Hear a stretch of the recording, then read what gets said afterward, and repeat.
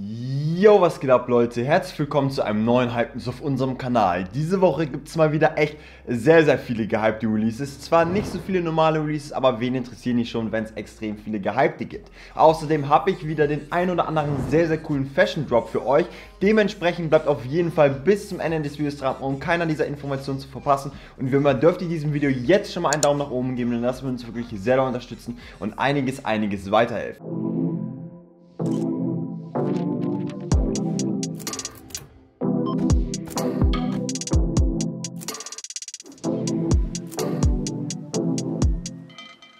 Die Leute, die jetzt noch auf diesem Kanal sind und wirklich gar keine Ahnung haben, was Hypeness ist, behalten, stellen wir euch alle Informationen vor, die sich der Sneaker- und Fashion-Herz so wünschen kann. Dementsprechend lasst auf jeden Fall mal ein Abo da und schaltet die Glocke an. Und falls ihr es noch nicht gemacht habt, checkt uns auch mal auf Instagram aus, denn dort posten wir immer wieder Sneaker-related Sachen und allgemein könnt ihr ein bisschen was über unser Leben erfahren und das ein oder andere Mal gibt es da auch die ein oder andere Raffle-List. Also checkt uns da auf jeden Fall aus, lasst ein Abo da, würde uns sehr freuen und sehr weiterhelfen. Und ich würde sagen, wir kommen jetzt aber direkt zum Top-Thema der Woche. Und für mich ist diese Woche das Top-Thema eine Sache, die uns persönlich sehr interessiert und am Herzen liegt. Und zwar handelt es sich um unser eigenes Modelabel Trend Vision. Denn dort wird es jetzt am 11.12. unsere erste Collection geben, Weekend in San Diego. Und dort wird es insgesamt vier verschiedene Pieces geben. Zwei Hoodies und zwei Tees. Die zwei Hoodies haben wir schon auf unserem Trend Vision Instagram Account geleakt bzw. angekündigt. Dort könnt ihr uns einfach mal auschecken, uns dort abonnieren, dann werdet ihr auch noch die nächsten beiden Pieces sehen. Auf jeden Fall wird es dort jetzt am 11.12. unseren ersten Release geben mit vier Pieces, zwei Hoodies, zwei Tees, wie gesagt. Und meiner Meinung nach sind die echt sehr, sehr gut gelungen. Wir haben eigene Schnitte, wir haben eigene Designs und auch eigene Stoffe. Also wir haben die nicht irgendwo gekauft oder sowas, sondern sogar noch selber produzieren und anfertigen lassen. Also wir sind wirklich komplett auf unsere eigene Schiene gegangen, haben unser eigenes Ding durchgezogen und wir planen das Ganze jetzt im Prinzip schon seit drei Jahren. Vor drei Jahren haben wir schon mal T-Shirts rausgebracht, aber das war nichts so richtiges. Und jetzt sind wir seit April, März so ungefähr dabei und versuchen hier an unserer ersten Collection zu arbeiten. Und jetzt ist es endlich soweit. Wir haben lange darauf gewartet. Wir sind extrem, extrem zufrieden oder mehr als zufrieden mit unseren Klamotten, die wir jetzt rausbringen werden. Und deswegen würden wir uns auch über euren Support freuen. Also checkt uns auf jeden Fall schon mal auf Trendvision aus und sonst am 11.12. werdet ihr dort auf unserer Webseite die Sachen bekommen. Falls ihr Early Access wollt, checkt uns da auch einfach mal auf Instagram aus. Dort werden wir noch ein bisschen Early Access vergeben nicht mit Codes oder sowas, sondern wir werden das ein wenig anders machen. Also checken uns da auf jeden Fall aus. Ich hoffe trotzdem, dass wir genug produziert haben, dass auf jeden Fall jeder was bekommt. Aber wenn ihr safe was bekommen wollt, dann auf jeden Fall auf Access gehen. Wie gesagt, das kriegt nicht jeder, aber wir werden noch ein paar Zugänge verlosen. Und sonst würde ich sagen, wir freuen uns drauf. Ich hoffe, ihr freut euch drauf. noch eine kleine Sache, was wir uns so hinter Trend Vision gedacht haben und wo wir, sag ich mal, hinwollen. Wir, also Tu und ich und auch mein Bruder, sind in den letzten Jahren alle sehr, sehr viel verreist. Wir haben extrem viel von der Welt gesehen, von verschiedensten Orten. Und an jedem Ort gibt es immer andere Religionen, irgendwie andere Art und Weisen, wie die Leute leben und auch komplett andere Fashion- und Streetwear-Szenen sozusagen, die alle so einen anderen Style haben. Und unsere Vision ist es sozusagen, von jedem dieser Orte immer was Neues mit in unsere Collections mit einzubringen, so dass es sozusagen nicht die extremste Version von den Styles in den jeweiligen Ländern ist, aber dass immer etwas implementiert wurde und dass wir uns eben daran inspirieren lassen, aber natürlich auch an der Kultur, an den Regionen und deswegen werden wir oder werdet ihr immer irgendetwas aus dem jeweiligen Land, auf das die Collection bezogen ist, etwas erkennen können vielleicht. Deswegen wir haben auf jeden Fall Bock darauf. Wir freuen uns auf das, was wir alles noch mit Trend Vision machen können. Jetzt steht aber erstmal unsere erste Release an, wo wir echt uns über euren Support freuen würden. Also checkt uns auf jeden Fall aus, lasst ein Abo da, supportet uns, checkt die ganzen Posts aus, repostet uns, wie auch immer. Wir würden uns, wie gesagt, sehr freuen. Und ich würde sagen, das war es jetzt erstmal zu Trend Vision und wir kommen jetzt zu den normalen Releases und da fangen wir am 5.12. an mit Nike Esplan Glow in dem Wheat Colorway. Dieser Schuh wird 100 Euro im kosten und in den Size US 8 bis 11 so um die 180 Euro im Resale bringen. Ich persönlich muss sagen, ich finde den Schuh sehr cool, besonders jetzt für den Winter ist der definitiv nicht schlecht, denn es ist ein Colorway, der so ein bisschen Farbe mit reinbringt in die Outfits, weil meistens kennt man das vom Winter. Ich trage selber oft im Winter eigentlich nur weiß-schwarz, sehr, sehr monochrom gehalten und ich finde es cool, wenn man dann mit den Schuhen wenigstens ein wenig Farbe mit reinbringen kann. Deswegen definitiv ein cooler Colorway jetzt für den Winter und der ist auch nicht zu auffällig. Meine Empfehlung hier, wenn ihr den bekommen solltet, flippt den auf jeden Fall, denn ich denke, es wird nicht zu schwer sein, den zu bekommen. Auch wenn Nike den auf der Nike Sneakers App als Draw gelistet hat, gehe ich davon aus, dass es nicht zu schwer sein solltet, den Schuh zu bekommen. Deswegen meine Empfehlung hier, flippt den einfach. Ich glaube auch nicht, dass er mit der Zeit so extrem nach oben gehen sollte. Dann würde ich sagen, machen wir jetzt auch schon direkt weiter mit den gehypten Releases. Wie gesagt, normale gab es nicht so viele, aber bei den gehypten Releases habe ich mal wieder einiges für euch. Und da fangen wir jetzt am 3.12. an mit dem Nike Dankai in dem Variety Purple Colorway. Dieser Schuh wird nur in einem Woman Size One rauskommen, 100 Euro Mutter kosten und in den Size EU 42 bis 44,5 wird der Schuh so um die 200 Euro im Resale bringen. Ich habe jetzt bewusst die EU-Sizes genannt, weil das sozusagen die Sizes sind, die jetzt am größten sind. Also es geht nicht höher als eine 44,5 und es ist immer leichter bei Woman Size Ones die EU-Sizes zu nennen, weil sonst gibt es da meistens Verwirrung. Dementsprechend die besten Sizes werden hier EU 42 bis 44,5 sein.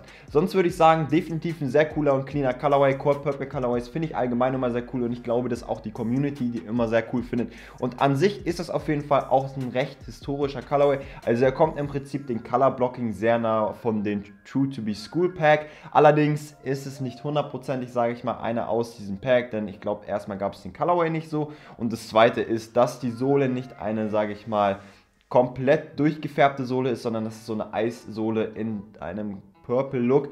Dementsprechend auf jeden Fall ein Schuh, der sehr cool ist, nicht hundertprozentig, sag ich mal so, OG ist, aber dennoch finde ich den sehr cool. Und mich stört es selber nicht mit der Sohle und allgemein, dass es jetzt kein OG-Colorway ist, denn ich finde den Colorway einfach sehr, sehr clean und ist definitiv ein guter Schuh. Dennoch würde ich euch empfehlen, den kann man auch einfach flippen, denn wie gesagt, es lohnt sich nicht immer, also wie ich das auch schon im letzten Video schon gesagt habe, es lohnt sich nicht immer jeden Schuh zu stocken, sondern man kann auch einfach mal den einen oder anderen Schuh straight flippen und das Geld mitnehmen, weil die 50 Euro, die man nach einem Jahr da rausholt, Darauf kann man auch manchmal verzichten. Dann geht es jetzt weiter mit einem Yeezy 350 V2, der in der Vergangenheit ein echt sehr, sehr beliebter Yeezy war, den viele Leute haben wollten, aber ich glaube, jetzt wird der Andrang nicht mehr so extrem hoch sein. Dennoch ist auf jeden Fall ein cooler Schuh für viele Leute von euch. Und zwar handelt es sich hier um den Adidas Yeezy Boost 350 V2 in dem Brad Colorway. Dieser Schuh wird jetzt am 5.12. unter anderem auf der Adidas App rauskommen. Dort könnt ihr euch jetzt schon für sozusagen das Draw eintragen und dann werdet ihr ausgelost, ob ihr den Schuh bekommt oder nicht. Der Schuh wird 220 Euro Mutter kosten und ich bin der Meinung, dass er so in den Size US 8 bis 12 so um die 350 Euro Mutter bringen wird. Aber allgemein sollte jede Size ziemlich profitabel sein. Man sollte mit jeder Size eigentlich gut etwas Resell rausholen können. Ich persönlich finde den Schuh, wie gesagt, nicht so cool. Ich finde den Colorway, zwar an sich ist er clean, aber ich bin nicht so der Fan von schwarz-roten Schuhen, die komplett schwarz mit rot sind. Wenn es so noch ein bisschen weiß dabei ist, geht es meiner Meinung nach. Aber sonst muss ich sagen, finde ich den eher nicht so cool. Des Weiteren wird der Schuh so um die 500.000 Mal rauskommen, was echt sehr, sehr oft ist. Also ich denke mal, dass es recht einfach sein wird, den Schuh zu bekommen. Dennoch glaube ich, dass der Resale von dem Schuh trotzdem ganz gut bleiben wird. Und wenn euch interessiert, wo der rauskommt, wie gesagt, der kommt auf der Adidas App raus, bei SNS and Beasten A Few, Asphalt Gold und noch viel mehr. Deswegen da einfach mal die ganzen Stores auschecken. Unten in der Beschreibung sind Links zu diesen Stores, wo ihr direkt zu den Stores kommt. Und sonst würde ich sagen, flippt den Schuh, wenn ihr ihn bekommen solltet. Wie gesagt, es ist ein Restock, der kam vor drei Jahren raus. Der würde jetzt nicht nochmal weiter nach oben gehen. Dann wird es ebenfalls am 5.12. weitergehen mit dem Nike Esplanade Glow Frame Skate Habibi. Dieser Schuh wird jetzt, wie gesagt, am 5.12. rauskommen, einen Retailpreis von 100 Euro haben und in den Size US 8 bis 11 wird er so um die 300 Euro im Resale bringen. Ich persönlich muss sagen, dass der Schuh an sich ganz clean ist, aber ich ihn auch selber nicht haben wollen würde, denn es ist auch nicht jetzt so ein Schuh, der mega, mega hinausstricht. Zum Beispiel die Kollabo mit Civiles Berlin war da ein wenig krasser, aber man kann auch nicht immer so eine krasse Kollabo haben. Was ich dennoch bei diesem Release sehr cool finde, wenn ihr an dem Release dran teilhaben wollt und den sozusagen bekommen wollt, den Schuh, dann hat oder da müsst ihr euch ein Spiel runterladen bzw. ein Spiel spielen, welches jetzt vom Framescale kommt. Dort gibt es, sage ich mal, verschiedene Challenges, glaube ich, Skateboard-Challenges, die ihr mal erledigen müsst. Und wenn ihr das geschafft habt, könnt ihr eure Daten eingeben und euch für den Release eintragen. Ihr werdet dann die Informationen, glaube ich, am 4.12. bekommen, ob ihr den Schuh bekommen habt oder nicht. Das ist im Prinzip sozusagen deren Raffle, so werden die den Release handhaben. Finde ich auf jeden Fall sehr, sehr cool, wie die das gemacht haben. Ist definitiv eine interessante Sache und deswegen finde ich Dank Release auch immer so cool, weil es wird nie langweilig, es gibt immer eben coole, interessante Sachen. Man hat meistens immer Spaß an den Releases, deswegen definitiv cooler Release. Mein Schuh ist es wie gesagt nicht hundertprozentig, aber dennoch krasses Ding auf jeden Fall für wahrscheinlich viele Leute von euch. Und sonst würde ich sagen, wenn ihr den bekommen solltet, kann man stocken. Ich persönlich würde den aber auch flippen, denn ich glaube nicht, dass die Kollabo so weit nach oben gehen wird, sondern eher so auf dem Preis stagnieren wird. Dann geht es jetzt weiter mit einem Schuh, der echt sehr, sehr krass ist. Ich persönlich würde ihn jetzt selber nicht kaufen und ihn auch selber nicht tragen. Dennoch ist es auf jeden Fall ein krasser Schuh. Und zwar wird der jetzt am 4.12. rauskommen. Und es handelt sich hier um den J Balvin Jordan 1 in dem Colors E Vibras Colorway. Dieser Schuh wird 165 Euro Mutter kosten und in den Size US 8 bis 12, denke ich mal, wird der nach Release so um die 500 bis 600 Euro im Resale bringen. Momentan liegt der bei 1000 Euro im Resale, aber der wird, denke ich mal, in einer sehr, sehr hohen Stückzahl rauskommen und dementsprechend kann ich mir vorstellen, dass der nach dem Release noch einiges droppen wird. Es kann sein, dass er sich auch bei 700, 800 Euro einpendelt, aber wenn ihr meine Meinung wissen wollt, dann würde ich eher sagen, dass der 500 bis 600 Euro nach dem Drop im Resale bringen wird. Ansonsten, wie gesagt, sehr, sehr krasser Schuh. Das Konzept ist definitiv sehr wild, dass man so ein, ja, Disrupted hat, der auch so ein bisschen einfach andere Formen und sowas hat, der einfach ein bisschen anders aufgebaut ist auf jeden Fall. Und dann in, eben in diesen bunten DIY-Colorway, sage ich mal, finde ich das auf jeden Fall an sich sehr cool. Aber für mich wäre ein Hauch zu wild. Ich würde ihn jetzt selber nicht so tragen, weil ich den dann nicht ganz so clean finde. Aber sonst definitiv krasser Schuh. Und auch die Leute warten schon sehr, sehr lange darauf, denn der wurde jetzt im Februar beim Super Bowl von Jay Baldwin in der Halbzeitshow, glaube ich, getragen und angeteased sozusagen. Und jetzt ist es erst soweit, dass der released wird. Also da auf jeden Fall ein an sich krasser Release. Und sonst für die Leute, die Jay Balvin nicht kennen, unter anderem kannte ich ihn jetzt auch nicht so mega gut. Das ist ein kolumbianischer Sänger. Mehr kann ich euch dazu auch nicht sagen, denn ich bin da nicht so wirklich drin jetzt bei ihm. Sonst meine Empfehlung, ich würde den Schuh am besten nach dem Release flippen. Ich glaube nicht, dass der nochmal so extrem hochgehen wird, denn wie gesagt, jetzt liegt er bei 1000 Euro und wenn er meistens so hart droppt, ist es schon ein Anzeichen, dass der, sage ich mal, im Resale nicht noch viel weiter wieder nach oben gehen wird. Deswegen meine Empfehlung, hier den Schuh am besten zu flippen. So, und dann geht es jetzt ebenfalls nochmal weiter mit einem Nike Dunk High. Und zwar wird der jetzt am 9.12. rauskommen. Und zwar handelt es sich um den Versailles Mace Colorway. Dieser Schuh wird 100 Euro Mutter kosten und in den Size US 8 bis 12 so um die 200 Euro im Reset bringen. Ich persönlich muss sagen, dass ich den Colorway sehr cool finde. Und das ist jetzt auch wieder ein OG Colorway, der damals sozusagen in dem Be True to Your School Pack rauskam, welches sozusagen die ersten Colorways waren von den Nike Dunk High. Ich persönlich finde, wie gesagt, allgemeines Color Blocking von den Schuhen ziemlich geil. Also dieses Gelb mit Schwarz gemixt gefällt mir sehr, sehr gut. Und sonst würde ich sagen, ist es ein Schuh, mit dem man definitiv nichts falsch machen kann. Der Nike Dunk Highs sind eigentlich immer cool. Tu findet die sogar zum Beispiel besser als die Lows. Ich finde beide eigentlich ziemlich gleich cool, aber sonst definitiv ein sehr, sehr cooler Colorway, gefällt mir sehr gut. Ich denke mir mal, ich werde mir auch versuchen, den zu kaufen, denn für 100 Euro kann man mit den Schuh echt wirklich, wirklich nichts falsch machen. Und sonst würde ich sagen, da meine Empfehlung, flip den einfach. Der kann zwar auch mit der Zeit wieder nach oben gehen, aber ich glaube nicht, dass es so weit sein wird. Deswegen da meine Empfehlung, einfach zu flippen. Ich habe jetzt allgemein bei dieser Serie bei vielen Schuhen gesagt, dass man die flippen soll, denn wie gesagt, es lohnt sich einfach meistens nicht, die zu stocken. Es lohnt sich echt echt meistens den Schuh direkt nach dem Release straight zu flippen. Dann kriegt man meistens sogar noch zum Beispiel jetzt anstatt 200 Euro auch 250, 275 Euro und dann bis er wieder den Preis, sag ich mal, bis er diesen Preis wieder erreicht hat, wird es so lange dauern. Deswegen meine Empfehlung, bei vielen Schuhen diese Folge, die einfach zu flippen. So Leute, dann würde ich sagen, kommen wir jetzt auch mal wieder mal zu den Leaks und News im Sneaker-Bereich und fangen wir da mal am 11.12. an mit einer sehr, sehr coolen Collabo. Und zwar handelt es sich um eine Collabo zwischen Stussy und den Nike Air Force One. Dort sollen nämlich jetzt zwei Colorways rauskommen. Einmal ein Fossil Stone Colorway und ein Black Colorway. Beide Schuhe werden 130 Euro Mutter kosten und in den Size US 8 bis 11 werden die so um die 200 bis 300 Euro im Resale bringen. Ich persönlich muss sagen, dass ich die beiden Colorways sehr cool finde. Es sind schlichte Colorways, Colorways, die aber nicht zu schlicht gehalten sind. Das Upper ist so aus so einem gewebten Stoff und allgemein finde ich, der hat so ein, zwei ganz coole Akzente, so dass es so ein bisschen distressed ist. So an manchen Stellen all over, also sehr cooler Schuh. Und sonst würde ich euch empfehlen, wenn ihr den bekommen solltet, den auf jeden Fall zu stocken, denn der kann so nach oben gehen wie die Spirit in Cage 2,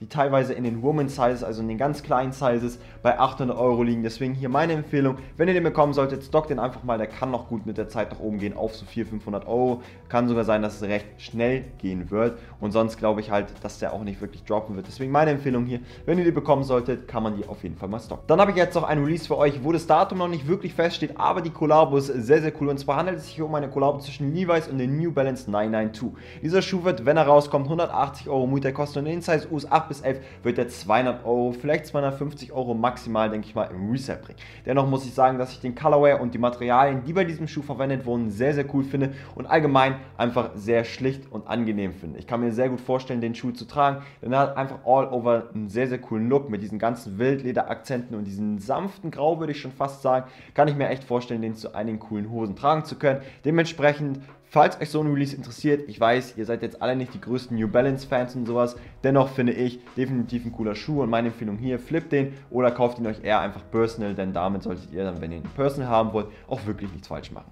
Also und den letzten Leak, den ich dann diese Woche für euch habe, den handelt es sich um den Nike SB Dunk Glow in dem Pink Pick Colorway. Dieser Schuh wird 2021 erst rauskommen, dennoch wollte ich euch jetzt schon mal über den informieren und zwar wird der Schuh 100 Euro Mutter kosten und in den Size US 8 bis 11 kann ich mir sehr gut vorstellen, dass er so 300 Euro aufwärts im Resale bringen wird. Denn dieser Schuh oder dieser Colorway ist inspiriert an ein Le Mans Auto vom Porsche. Ich werde euch hier einfach mal ein Bild einblenden von diesem Auto, welches echt sehr cool ist. Und zwar ist es ein Auto, welches, sag ich mal, ja, bei Le Mans bei einem Rennen mitgefahren ist und da kommt halt diese Farbe her, dieser Pink Pick Colorway. Das Auto hieß auch Pink Pick, denn er ist, sag ich mal, in diesem Design gewesen. Auf jeden Fall definitiv ein sehr interessanter Release. Ich glaube nicht, dass ich den Schuh selber tragen würde, obwohl das Pink könnte auch ganz cool sein. Dementsprechend, ich würde sagen, wir warten einfach mal ab. Aber auf jeden Fall cooler Release. Ich wollte euch trotzdem schon mal ankündigen. Und ob man den jetzt flippen oder stocken soll, würde ich sagen, warten wir nochmal, wenn es oder wenn wir näher zu dem Release rankommen. Dann würde ich sagen, machen wir jetzt nochmal mal weiter mit dem Fashion Studio Bereich, wo wir jetzt am 3.12. anfangen mit Supreme Box Logo Hoodies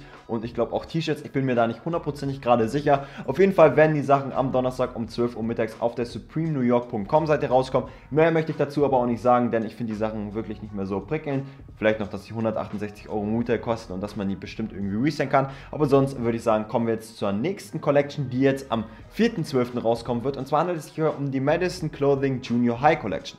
Dort wird es jetzt am Freitag um 18 Uhr der zweite oder die zweite Collection jetzt von Madison Clothing geben. Und zwar wird es insgesamt 8 Pieces geben. Zwei Tees, zwei Hoodies, zwei Jacken und zwei Hosen. Da gibt es nämlich wieder College-Jacken, Trackpants, T-Shirts, Hoodies. Und da würde ich sagen, checkt auf jeden Fall meinen guten Freund Gianni aus und supportet ihn da an seinem Release. Denn so wie ihr uns supporten könnt, könnt ihr auch ihn supporten. Würde uns sehr freuen. Ich finde es definitiv eine nice Collection. Ich glaube, morgen oder übermorgen kommen bei mir auch noch ein, zwei Pieces an, auf die ich mich freuen kann. Deswegen da definitiv Madison und Gianni auschecken. Würde uns sehr freuen, wenn ihr da ein bisschen Support da lassen würdet. Dann geht es jetzt nochmal weiter mit zwei weiteren Releases. Und zwar einmal am 6.12. gibt es einen neuen Repute Vision Drop. Da habe ich leider noch nichts von den Pieces gesehen. Ich denke mal, das werdet ihr aber auf Repute Vision und bei Elia in der Story noch sehen werden. Deswegen checkt da auf jeden Fall mal Repute Vision aus. Denn dort gibt es bestimmt wieder das ein oder andere nice Piece. So, und bei dem letzten Fashion Release, den ich dann noch für euch habe, handelt es sich um No Faith Studios. Dort wird es jetzt am 6.12. ebenfalls auch einen Release geben. Ich habe hier schon ein Piece aus der aktuellen Collection und zwar Tu das zugeschickt bekommen. Das ist hier so eine Bag, die so im Lederlook ist. Auf jeden Fall sehr, sehr cool. Eine Sache, die ich dazu sagen muss, die Pieces sind ein wenig anders. Aber es werden sehr, sehr krasse Hosen zum Beispiel unter anderem kommen und allgemein krasse Pieces. Ich glaube nicht, dass es jetzt für jedermann von euch etwas ist, aber es gibt bestimmt den einen oder anderen, der solche Pieces sehr, sehr cool findet. Deswegen auschecken lohnt sich. Checkt da auf jeden Fall mal den Instagram-Account aus von den lieben Louis Doppelgarden, also von seiner Brand. Deswegen da auf jeden Fall auch ein bisschen Support da lassen würde uns wirklich sehr doll freuen.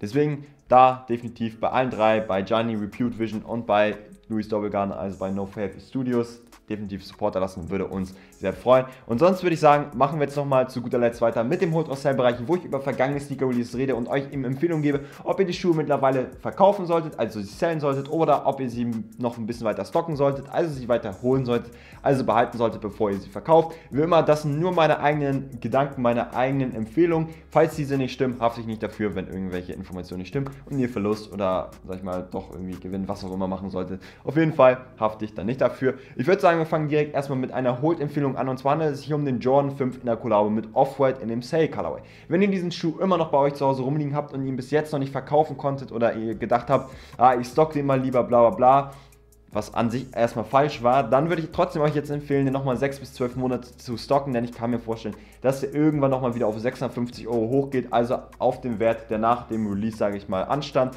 Deswegen meine Empfehlung hier, falls ihr den noch zu Hause rumliegen habt, dann kann ich euch empfehlen, den definitiv nochmal ein wenig zu stocken. Dann habe ich aber zwei Sell-Empfehlungen für euch nochmal. Und zwar handelt es sich hier einmal um den Jordan 4 in dem Metallic Red, Purple, Green, was weiß ich, Colorway. Diese Schuhe sind jetzt mittlerweile echt sehr, sehr hoch. Also die sind vom Resale-Wert fast auf 400 Euro angekommen. Und ich glaube nicht, dass die noch viel höher gehen werden, denn ich denke mal, dass das definitiv so ungefähr der Peak sein wird. Deswegen da meine Empfehlung, den zu sellen. Ich kenne allgemein wenig Jordan 4er, die über sag ich mal, 400 Euro sind, außer der, zu dem ich jetzt komme. Und zwar handelt es sich hier um den Jordan 4 in der Kollabo mit Off-White. Und zwar wird da der, oder und zwar handelt es sich hier um den Fossil Colorway. Der liegt momentan echt bei einem sehr, sehr guten Wert. Und der kann natürlich auch nochmal mit der Zeit weiter nach oben gehen. Aber es kann halt eben sein, dass man dann über die Zeit auch wieder Interesse an diesem Schuh verliert und dass der nochmal runtergehen wird. Deswegen meine Empfehlung. Deswegen nutzt es aus, dass ihr jetzt gerade sehr viel Geld für den bekommt und verkauft den einfach am besten. Das ist persönlich meine Empfehlung. So Leute, dann würde ich sagen, kommen wir jetzt noch mal immer zu guter Letzt zu den Fits der Woche, wo ihr mich und Tu auf euren Instagram-Bildern markieren könnt. Und wenn uns die Outfits und die Bilder gefallen, werden wir euch mit ins Hype mit reinnehmen. Wie gesagt, das ist so eine kleine Sache, damit wir euch etwas zurückgeben können. Und ich würde sagen, wir fangen mal direkt mit dem ersten Outfit an. Das kommt hier von Kevin Senner. Er trägt hier auf diesem Bild einen dunkelgrünen Crewneck, der von weiß ich nicht was kommt. Ich kann es leider nicht hundertprozentig erkennen. Ich denke mal, das könnte auch einfach so ein Vintage Crewneck sein. Dazu trägt er dann eine so eine dünnere Metallkette und dann noch eine Perlenkette, die wir auch in letzter Zeit sehr gut oder sehr cool finden. Irgendwie habe ich aber mein Armband davon verloren, was ein wenig ärgerlich ist. Dann trägt er hier noch auf diesem Bild eine beige Tote die definitiv auch zu den Rest des Outfits passt, denn er hat hier auf diesem Bild noch eine beige Kurthose, wenn ich mich nicht richtig täusche. Und dann trägt er noch die Nike Dunk High in dem Pro Green Colorway, was dann natürlich auch perfekt wieder mit dem Crewneck matcht. Also all over meiner Meinung nach ein sehr, sehr cooles und cleanes Fit, mit dem man nichts falsch machen kann. Das zweite Outfit kommt dann von Fabi 1903 oder von Fabi 1903. Er trägt hier auf diesem Bild, ich fange mal wieder von oben an, auch eine Perlenkette, die auch wieder sehr cool aussieht und dazu passt. Dann auch ist das ganze Outfit wieder farblich sehr gut gematcht und so ein bisschen so in Pastelltönen gehalten, denn er trägt wieder so ein Pastell-T-Shirt dann so eine grüne Pastell-Zip-Jacke, wie auch immer, von Vesset, glaube ich. Dazu dann eine beige Hose, die auch sehr gut passt und dann noch die Jordan 1 in dem Lucky Green Colorway. Also da auch all over wieder sehr, sehr cooles Outfit. Grüße gehen hier raus an dich. Und das letzte Outfit kommt dann von Harry.79. Er trägt hier auf diesem Bild einen Hoodie von Peso aus der Spoiled Youth Collection. Dazu dann eine Puffer Jacket, glaube ich, von LFDY und dann noch eine verwaschene Jeanshose, die echt sehr, sehr cool aussieht und cool fittet und dann, glaube ich, noch Nike Air Force One in weiß. Also auch das all over, sehr cooles Outfit, sehr coole Bilder. Grüße gehen hier raus an dich, mach weiter so. Sonst würde ich sagen, was es aber auch schon mit dem Fitzer Woche und allgemein mit diesem Video. Ich hoffe, es hat euch gefallen und ich hoffe, ich konnte euch weiterhelfen. Wenn das der Fall war, lasst mich auf jeden Fall mit einem Daumen nach oben wissen und schreibt das Ganze unten in die Kommentare. Und falls ihr neu auf diesem Kanal seid, herzlich willkommen. Ihr dürft uns natürlich gerne abonnieren und die Glocke anschalten. Und sonst würde ich sagen, wie gesagt, checkt uns wirklich gerne, gerne mal auf Trendvision aus. Checkt uns auf Clacked aus oder unseren Partner Clacked. Außerdem noch auf Instagram, würde uns wirklich sehr freuen. Und sonst würde ich sagen, was ist jetzt endgültig mit dem Video. Bis zum nächsten Mal und ciao.